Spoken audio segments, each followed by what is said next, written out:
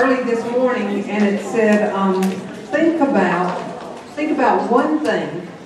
Think about one thing about being a human that you're grateful for. One thing, one thing about being a human that you're grateful for. When I read that, I thought of you. I thought of y'all. I was going to get to come here and be around people that have a passion for something, for something, for plants, for the environment, for each other. It's good to be around passionate people.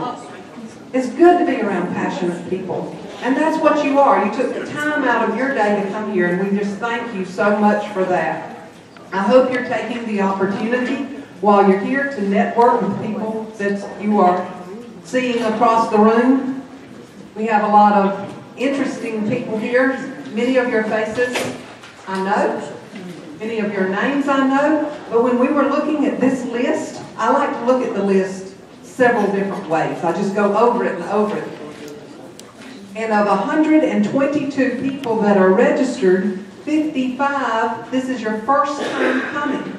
Your first time coming to this event. So welcome, welcome to the South Florida Native Plant and Wildflower Symposium.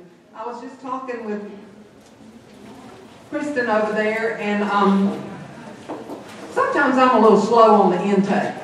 I don't know about y'all, but it takes me a few times before I get something, like reading it over and over. And several of the people here at this symposium have said to me, you know, this is my fourth year, or this is my fifth year, and it's making sense now. Some of the things that Beth was sharing just then, it's starting to find a place in your own landscape, in your own planning, in your own way of thinking about things. So thank you for coming, all you first timers. I'm so glad you're here. Please come back. Please come back. We've already got our first speaker lined up for next year's event, and she's sitting right over there. Karen Gianvingo will be a headliner next year, so um, you know, this is kind of like Christmas. We look forward to it, and look forward to it, but we're already thinking about next year too. So we're so glad that you're here. I will go ahead and tell you right now too, please pay attention to, I think it's a very bright pink piece of paper in that folder, and it's the evaluation. That is critical for us when we start planning.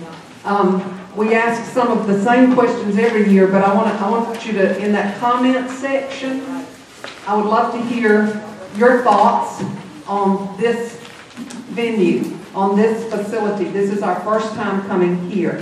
So please share um, freely. Please share freely on how, how this is working being at this place. So, thank you again.